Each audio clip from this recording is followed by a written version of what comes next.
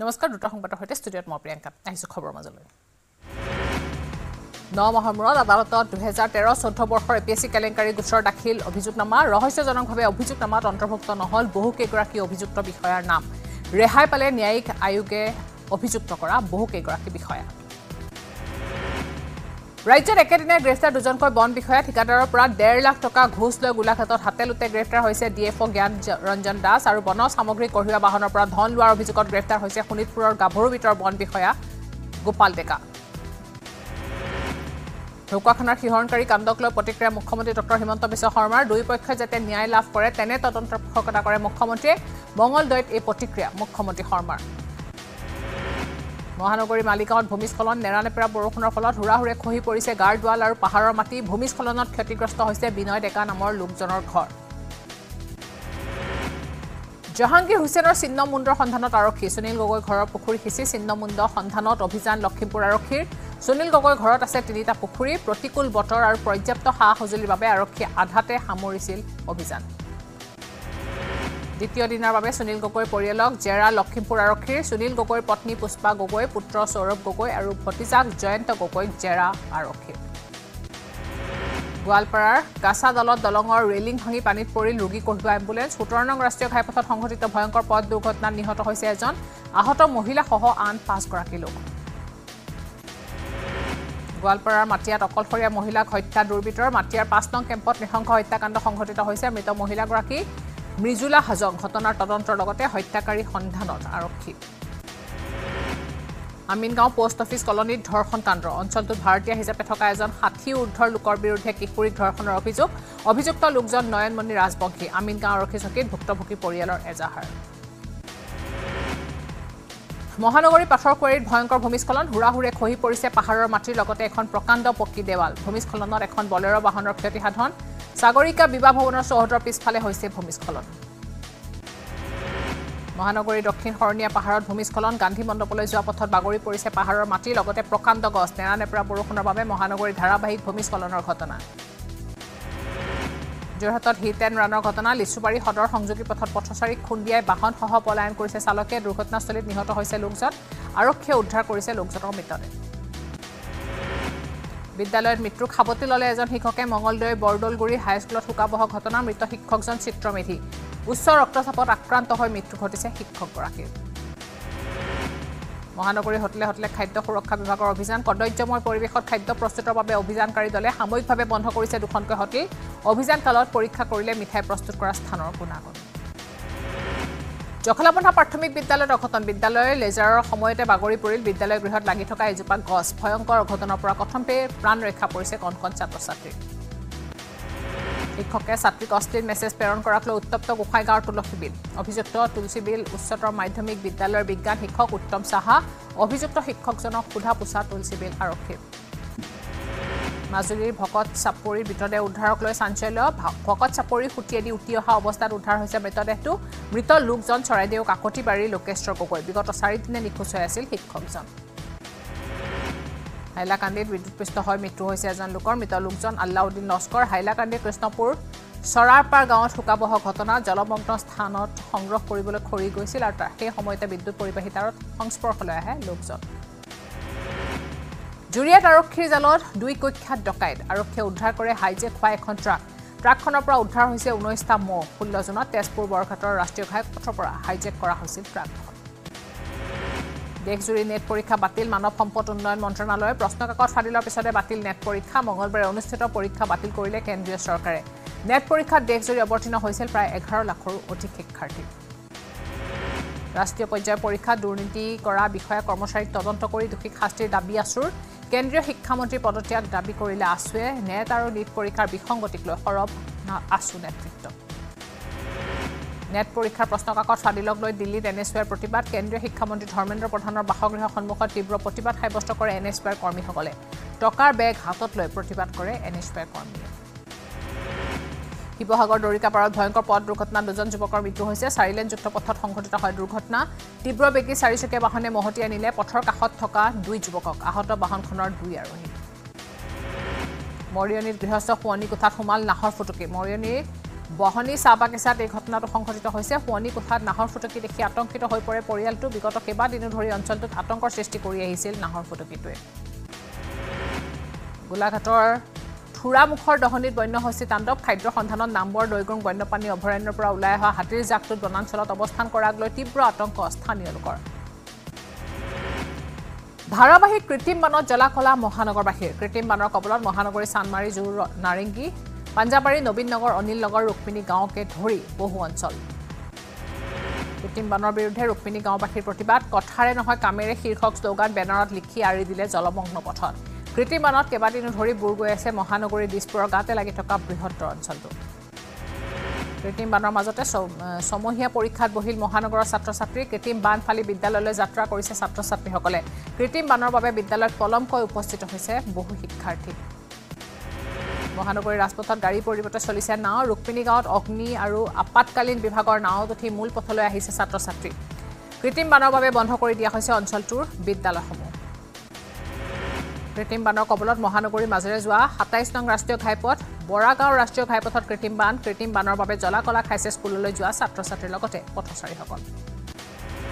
কৃত্ৰিম বানৰ বাবে মহানগৰীৰ জি এছ ৰোডতো ভয়ংকৰ বান যান জঁট খানাপাৰাৰ পৰা গণেশগুৰি অভিমুখী পথত ঘণ্টাৰ পিছত ঘণ্টা ধৰি আবদ্ধ হৈ থাকিল বহু বাহন। কৃত্ৰিম বান যান জঁটত স্তব্ধ পায় মহানগৰীৰ জনজীৱন।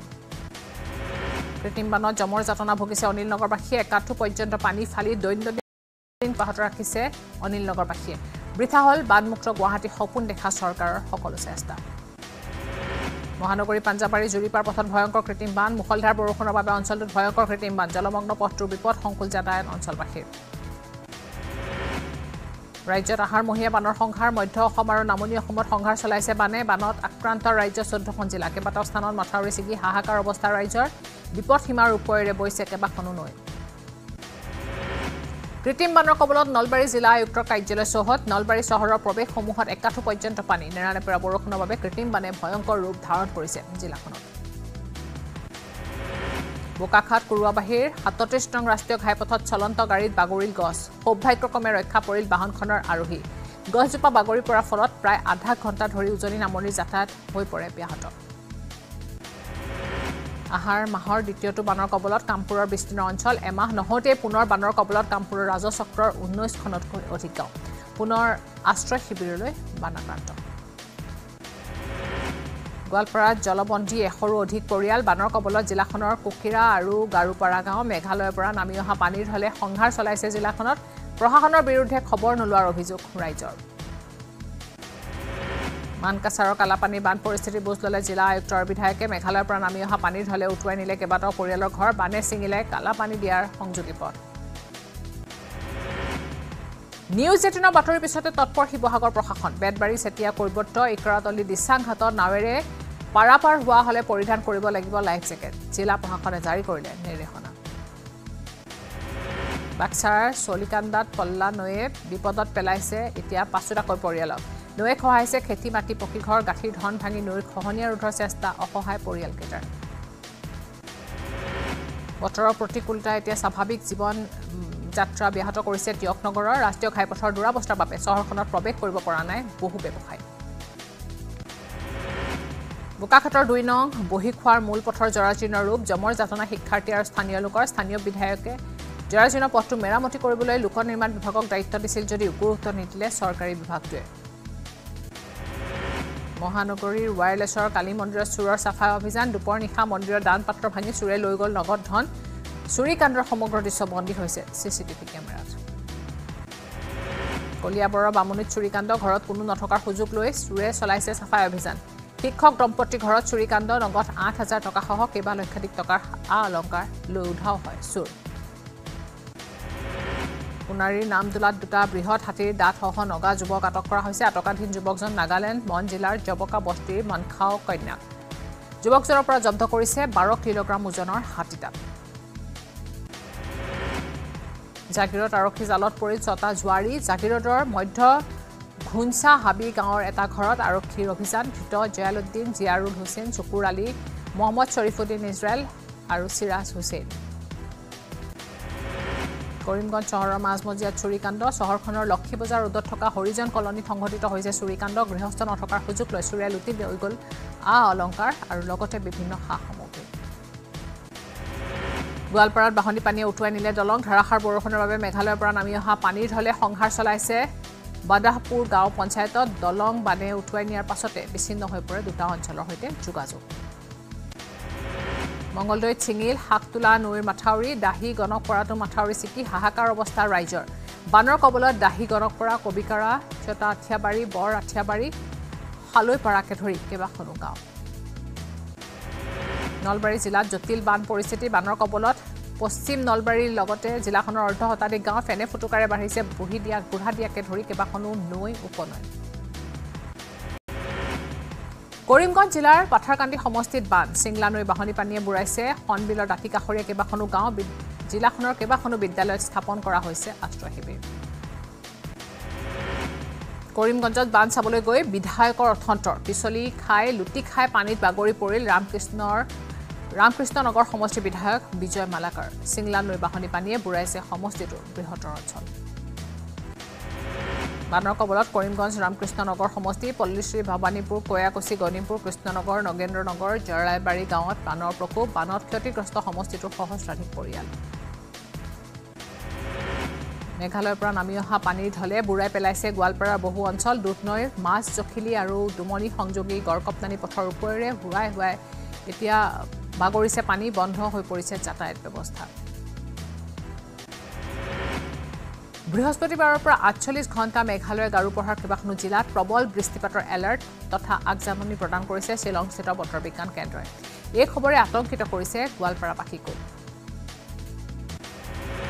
বঙাইগাঁৱত বানে উটুৱাই নিলে বাইকসহ আৰোহীক মানিকপুৰৰ ডাঙাইগাঁও কীৰ্তনপাৰা সংযোগী গড়কপ্তানি পথৰ এই ঘটনা কেমেৰাত বন্দী হৈছে এই দৃশ্য। বঙাইগাঁও জিলাৰ বিভিন্ন অঞ্চল বানৰ সংহাৰ বানত বুৰিছে মানিকপুৰৰ ডাংগাইগাঁও কীৰ্তনপাৰা সংযোগী গড়কপ্তানি পথ। আই নৈ বাহনী পানীয়ে বুঢ়াইছে বৃহত্তৰ অঞ্চল। তামোলপুৰ জিলাৰ ভালুকমাৰীত বাল্টি নদীৰ গৰাখহনীয়াৰ সংহাৰ নৈত বিলীন কেইবাটাও পৰিয়ালৰ ভেটি মাটি খহনীয়াৰ বাবে স্থানান্তৰিত কৰিবলগীয়া হৈছে ভালুকমাৰী প্ৰাথমিক বিদ্যালয়। বঙাইগাঁও জিলাত মানাহ নৈৰ খহনীয়া খহনীয়াত ক্ষতিগ্ৰস্ত সৃজনগ্ৰাম ৰাজচক্ৰৰ লতিবাৰী তৃতীয় খণ্ড দুপাচুৰী দ্বিতীয় খণ্ড তিনিকুণীয়া দ্বিতীয় খণ্ড ভৰালিপাৰা দ্বিতীয় খণ্ড আৰু বৰচলে ছয়ত্ৰিছটা পৰিয়াল। বঙাইগাঁও জিলাত বিপদসীমাৰ ওপৰে বৈছে আই আৰু মানাহ নৈ ফেনে ফুটুকাৰে বাঢ়িছে ব্ৰহ্মপুত্ৰ ওফন্দি উঠা আই মানাহ আৰু ব্ৰহ্মপুত্ৰ নদীত নাও চলাচলতো নিষেধাজ্ঞা জাৰি কৰিছে প্ৰশাসনে। মাজুলীৰ শালমৰাত ব্ৰহ্মপুত্ৰৰ ভয়াৱহ খহনীয়া খহনীয়া অঞ্চল পৰিদৰ্শন কৰিবলৈ যোৱা বিধায়ক আৰু জিলা আয়ুক্তৰ সন্মুখতে ব্ৰহ্মপুত্ৰ বৰ্ডৰ বিষয়া আৰু ঠিকাদাৰৰ বিৰুদ্ধে ক্ষোভ উজাৰিলে ৰাইজে। পাগলাদিয়া নৈৰ প্ৰবল সোঁতত এতিয়া যেন নিঃশেষ হোৱাৰ দিশে হাজোৰ বৃহত্তৰ বৰ খলিহা মাৰি বিগত চৌবিছ ঘণ্টাত পাগলাদিয়া নৈৰ বাহনী পানীয়ে ইতিমধ্যে সহায় দিছে গাঁওখনৰ পঞ্চাছ বিঘাতকৈও অধিক ভূমি। আমিন গাঁৱত ভয়াৱহ ৰূপ লৈছে কৃত্ৰিম বানে। কৃত্ৰিম বানৰ কবলত আমিন গাঁও নেটফ্লিক্স কলিবাৰীকে ধৰি শ্ৰীনাথ পট্টিকে ধৰি বহু অঞ্চল। প্ৰশাসনৰ বিৰুদ্ধে ক্ষোভ উজাৰিলে ক্ষতিগ্ৰস্ত ৰাইজে। কৰিমগঞ্জত জটিল বান পৰিস্থিতি অসম ত্ৰিপুৰা সংযোগী আঠ নং ৰাষ্ট্ৰীয় ঘাইপথত আশ্ৰয় গ্ৰহণ কৰিছে বানাক্ৰান্তই বানৰ বাবে পুৱামৰাৰ পৰা সুপ্ৰমা কান্দিলৈকে যান বাহনত চলাচলত বাধ্যবাধকতা। বানৰ কবলত চিপাঝাৰৰ পথৰিঘাট ৰাজচক্ৰৰ কুৰিখনৰো অধিক গাঁও। ডিমিলা কালপানী আৰু সুতি নদীৰ বানে প্লাৱিত কৰিছে বৃহত্তৰ অঞ্চল। ভূটানৰ পৰা নামি অহা পানীৰ ঢলৰ বাবে সংহাৰী ৰূপ লৈছে এতিয়া ডিমিলা নদীয়ে। কৃত্ৰিম বানৰ কবলত পৰিছে আমিন গাঁৱৰ কামৰূপ আয়ুক্ত কাৰ্যালয় তথা কামৰূপ সত্ৰ ন্যায়াধীশৰ কাৰ্যালয়। কৃত্ৰিম বানৰ মাজেৰে কাৰ্যালয়ত আহিছে কৰ্মচাৰী বিপিন যান বন্ধ হৈ পৰাত আমিন গাঁৱত কৃত্ৰিম বানৰ ভয়ংকৰ ৰূপ। শিৱসাগৰৰ ডিমৌ আঠাবাৰী সংযোগী পথ অৱৰোধ চাহ জনজাতীয় ছাত্ৰ সন্থাৰ জৰাজীৰ্ণ পথটো শীঘ্ৰে মেৰামতি কৰাৰ দাবী প্ৰতিবাদকাৰী। অইলৰ গধুৰ যান বাহন চলাচল কৰাৰ বাবে বিধ্বস্ত হৈ পৰিছে এতিয়া পথছোৱা ৰঙাপাৰাত উৰণ সেতু পৰিদৰ্শন কৰে মুখ্যমন্ত্ৰীয়ে। সেতুৰ কাষেৰে যোৱা পথৰ কদৰ্যময় পৰিৱেশ দেখি ঠিকাদাৰক ধমক দিয়ে মুখ্যমন্ত্ৰীয়ে। ৰাইজে ঠিকাদাৰৰ বিৰুদ্ধে অভিযোগ দিলে মুখ্যমন্ত্ৰী। কমলপুৰৰ পুথিমাৰী নৈৰ মাথাউৰিৰ ওপৰত নিৰ্মাণ কৰা পথৰ বিসংগতি পথৰ কাষত দেখা দিছে প্ৰকাণ্ড গাঁত। লোক নিৰ্মাণ বিভাগে মাথাউৰিৰ ওপৰত পেভাৰ ব্লকেৰে নিৰ্মাণ কৰিছিল প্ৰায় চাৰে পাঁচ কিলোমিটাৰ পথ। মায়ং উন্নয়ন খণ্ডৰ অধীনৰ পালিগুৰি গাঁও পঞ্চায়তৰ দুই নং ৱাৰ্ডত পথ নিৰ্মাণত ব্যাপক বিসংগতিৰ অভিযোগ উত্থাপিত হৈছে। ঠিকাদাৰৰ গাফিলতিত যাতায়াতত জমৰ যাতনা ভোগ কৰিছে স্থানীয় লোকে। তামিলনাডুত বিষাক্ত সুৰা সেৱন কৰি বত্ৰিছজন লোকৰ মৃত্যু হৈছে। গুৰুতৰভাৱে অসুস্থ হৈ আছে ষাঠিজন চিকিৎসাধীন হৈ আছে। কল্যাণকুছি জিলাত সংঘটিত হৈছে এই ঘটনা। বিষাক্ত সুৰা বিক্ৰেতা কে কুন্নাকুটিক গ্ৰেপ্তাৰ কৰিছে আৰক্ষীয়ে। কাঞ্চনজংঘা এক্সপ্ৰেছৰ দুৰ্ঘটনাৰ তদন্ত প্ৰাৰম্ভিক তদন্তত দুৰ্ঘটনাৰ বাবে মালবাহী ৰেলখনৰ চালক আৰু ট্ৰেইন মেনেজাৰক জগৰীয়া কৰা হৈছে। মালবাহী ৰেলখনৰ চালকে উলংঘা কৰিছিল ছিগনেল ফাইজান আহমেদ আৰু দেবিকা পিল্লাইৰ মৃত্যুক লৈ উত্তাল পশ্চিমবংগৰ খড়গপুৰ আই আই টি। প্ৰতিষ্ঠানখনৰ সঞ্চালক আৰু সুৰক্ষা বিষয়াৰ পদত্যাগৰ দাবীৰে প্ৰতিবাদ খড়গপুৰৰ জনজাগৰণ মঞ্চ। ছিকিমৰ তিষ্টা নদীত মৃতদেহ উদ্ধাৰক লৈ চাঞ্চল্য। দহ নং ৰাষ্ট্ৰীয় ঘাইপথৰ কাষেৰে বৈ যোৱা নৈখনত উদ্ধাৰ অচিনাক্ত লোকৰ মৃতদেহ মৃত লোকজন পশ্চিমবংগৰ কোনো মাছমৰীয়া হ'ব পাৰে বুলি সন্দেহ কৰা হৈছে। পঞ্চায়ত আৰু বিধানসভা নিৰ্বাচনক লৈ তৎপৰ শাসকীয় বিজেপি। ৰোড মেপ প্ৰস্তুতত ব্যস্ত হৈ পৰিছে এতিয়া বিজেপি। বাইছ ছেপ্টেম্বৰত বাজপেয়ী ভৱনত অনুষ্ঠিত হ'ব বিষয়ববীয়াৰ বৈঠক। লোকসভা নিৰ্বাচনৰ ফলাফলক লৈও পৰ্যালোচনা হ'ব এই বৈঠকত। কেন্দ্ৰীয় মন্ত্ৰিত্ব লাভৰ পিছতে প্ৰথমবাৰৰ বাবে গৃহ সমষ্টিত সৰ্বানন্দ সোণোৱাল ডিব্ৰুগড় মোহনবাৰী বিমানবন্দৰত কেন্দ্ৰীয় মন্ত্ৰীজনক বিপুল আদৰণি দলীয় কৰ্মী সমৰ্থকৰ। বিধায়ক শূন্য বিহালীত কেয়াৰ টেকাৰ হোৱাৰ মন সাংসদ ৰঞ্জিত দত্ত। উপ নিৰ্বাচনক লৈ মুখ্যমন্ত্ৰী হিমন্ত বিশ্ব শৰ্মাৰ মন্তব্যৰ পিছত এই মন্তব্য নৱ নিৰ্বাচিত সাংসদজনৰ অসমৰ পৰা স্মৃতি ইৰাণীক ৰাজ্যসভাৰ প্ৰাৰ্থিত্ব দিয়াৰ সম্ভাৱনা। জনজাতীয় নেতা অৰ্জুন মুণ্ডা হ'ব পাৰে অসমৰ প্ৰাৰ্থী। দুয়োগৰাকী নেতাই এইবাৰ পৰাস্ত হৈছে লোকসভা নিৰ্বাচনত।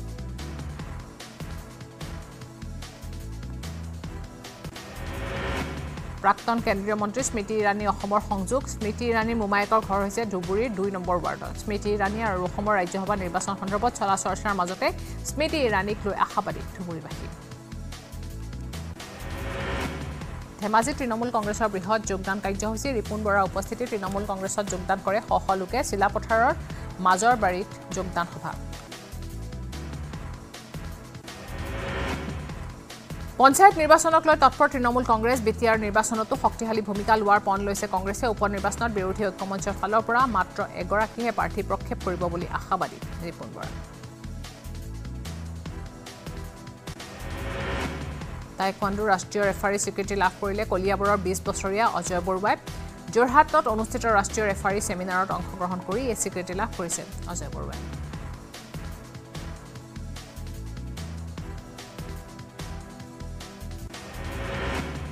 বানৰ কবলত Nalbari টিহুৰ north east mega food park. বানৰ বাবে বিঘ্নিত উদ্যোগৰ কাম কাজ টিহু নদীৰ বানে ভয়ংকৰ ৰূপ লৈছে অঞ্চলটোত।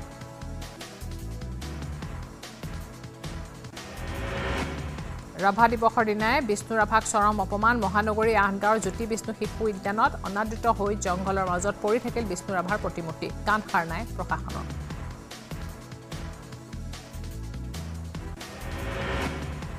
ওদালগুৰিৰ ৰাভা দিৱসত জুবিন গাৰ্গ। ভেৰগাঁৱত দিনজোৰা কাৰ্যসূচীৰে ৰাভা দিৱস পালন কৰে নিখিল ৰাভা ছাত্ৰ সন্থাই প্ৰায় দুই কোটি টকা ব্যয় সাপেক্ষে কলাগুৰু বিষ্ণু ৰাভা প্ৰেক্ষাগৃহ আৰু কলাগুৰু বিষ্ণু ৰাভাৰ আবক্ষ মূৰ্তি উন্মোচন কৰে জুবিন গাৰ্গে।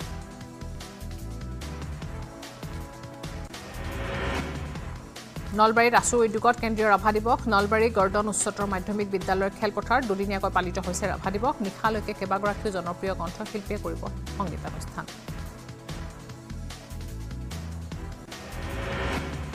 ৰাজ্যিক বিজেপিৰ মুখ্য কাৰ্যালয়ত ৰাভা দিৱস দিনজোৰা কাৰ্যসূচীৰে অনুষ্ঠিত হয়। ৰাভা দিৱস ৰাভা দিৱসত বহুকেইগৰাকী শিল্পী আৰু কণ্ঠশিল্পীয়ে অনুষ্ঠান পৰিৱেশন কৰে। অনুষ্ঠানত উপস্থিত থাকে বহু সংখ্যক বিজেপি নেতা।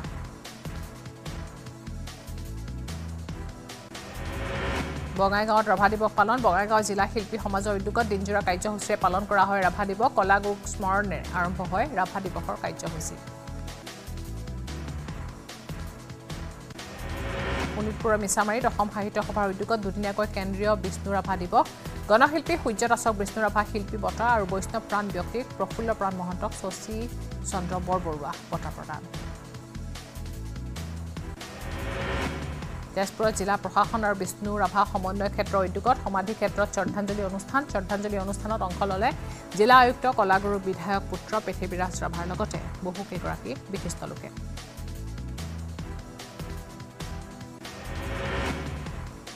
ৰাভা দিৱসৰ দিনাই চৰ্চাত বাক্সা জিলাৰ বৰমাৰ দীঘেলী গাঁও। গাঁওখনত আত্মগোপন কৰি বিষ্ণু ৰাভাই নেতৃত্ব দিছিল মুক্তিৰ আন্দোলনৰ। মৃত্যুবাৰ্ষিকত বিষ্ণু ৰাভাক স্মৰণ গাঁওবাসীৰ। মহানগৰীৰ লখৰা উদয়ন কৃষ্টি সংঘত ৰাভা দিৱস পালন কৰা হৈছে। অৰহঞ্জ কৃষ্টি কেন্দ্ৰৰ উদ্যোগত ৰাভা দিৱসৰ কাৰ্যসূচী আন্দোলনৰ সময়ত লখৰাৰ ভিন্ন অঞ্চলত আশ্ৰয় লৈছিল বিষ্ণু ৰাভাই। মৃত্যুবাৰ্ষিকীত কলাগুৰু বিষ্ণুপ্ৰসাদ ৰাভালৈ শ্ৰদ্ধাঞ্জলি। ৰাজ্যৰ প্ৰান্তে প্ৰান্তে ৰাভা দিৱসৰ বিস্তৃত কাৰ্যসূচী অসম চৰকাৰৰ সাংস্কৃতিক পৰিক্ৰমা বিভাগৰ উদ্যোগত তেজপুৰতো কেন্দ্ৰীয় কাৰ্যসূচী। তেজপুৰত ভিন্ন অনুষ্ঠান আয়োজন কৰিলে ৰাভা দিৱসৰ তেজপুৰৰ মাজগাঁওস্থিত এডুক' স্কুল অফ আৰ্ট এণ্ড মিউজিকত কলাগুৰুক স্মৰণ কৰিছে ছাত্ৰ ছাত্ৰীসকলে শিক্ষানুষ্ঠানখনৰ ছাত্ৰ ছাত্ৰীসকলে পৰিৱেশন কৰিলে অনুষ্ঠান। বাইছ জুনত জয়ানগৰৰ জগন্নাথ সাংস্কৃতিক প্ৰকল্পত অনুষ্ঠিত হ'ব জগন্নাথ স্নান যাত্ৰা আৰু সেই উপলক্ষে সেইদিনা বিয়লি চাৰি বজাৰ পৰা অনুষ্ঠিত হ'ব বিভিন্ন কাৰ্যসূচী। জগন্নাথ স্নান যাত্ৰাৰে সমাপ্ত হ'ব অনুষ্ঠান। বৰজাৰ বিমানবন্দৰৰ সমীপৰ এছ এছ পথত থকা মাইলছ ব্ৰনছন স্কুলত উপস্থিত হ'ল ৰাজ্যপাল Gulab Chand Kataria. C B S ইৰ সহোদয়া বৰ্ডৰ উদ্যোগত অনুষ্ঠিত হোৱা এক বিশেষ সম্বৰ্ধনা অনুষ্ঠানত অংশ লয় ৰাজ্যপালগৰাকীয়ে কোকৰাঝাৰ চহৰৰ পৰা বেচৰ গাঁওস্থিত কোকৰাঝাৰ মেডিকেল কলেজলৈ পৰিবহণ সেৱা আৰম্ভ। প্ৰতিদিনে পথছোৱাৰে চলিব বাছ। পথটোৰে বাছ সেৱাৰ জৰিয়তে উপকৃত হ'ব মেডিকেল কলেজৰ অহা ৰোগীৰ লগতে পথচাৰীসকল। কলিয়াবৰলৈ মুখ্যমন্ত্ৰী হিমন্ত বিশ্ব শৰ্মা কলিয়াবৰৰ হেমপ্ৰভা বিশ্বাসৰ চাহৰ দোকানত উপস্থিত হ'ল মুখ্যমন্ত্ৰী। বিহুৰ বিশ্বাভিলেখৰ অনুষ্ঠানত অংশ লৈছিল হেমপ্ৰভাই। চৰকাৰী মানৰ নিৰ্ধাৰণেৰে চাহ দোকান দি স্বাৱলম্বী হৈছিল হেমপ্ৰভা। মঙলদৈত একেলগে বিয়াত বহিল দহ যোৰা দৰা কইনা। কাঠপাৰী মহাপুৰুষীয়া নামঘৰত অনুষ্ঠিত হ'ল সমূহীয়া বিবাহৰ অনুষ্ঠান। ভিন্ন অসুবিধাৰ বাবে সামাজিকভাৱে বিবাহ সম্পন্ন হোৱা নাছিল এই সকল লোকৰ। আৰু ইয়াৰ লগে লগে সময় হৈছে দ্ৰুত সংবাদৰ পৰা বিদায় লোৱাৰ। নমস্কাৰ।